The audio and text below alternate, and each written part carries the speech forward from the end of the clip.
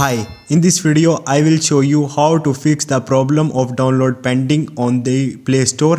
So the process is pretty simple. Open your Play Store mobile application and at the left top you will see three lines. Click on it.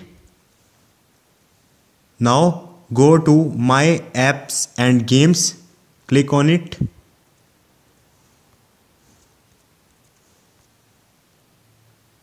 Now you will see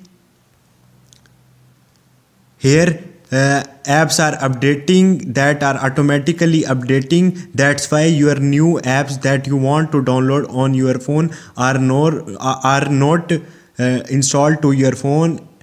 Because of these apps you have to simply cross all the apps so after that whenever you will download any app it will start downloading. So all you have to do this if you facing this problem on your phone that download pending you can follow this step. Hope this video will helpful for you. See you next time. Thank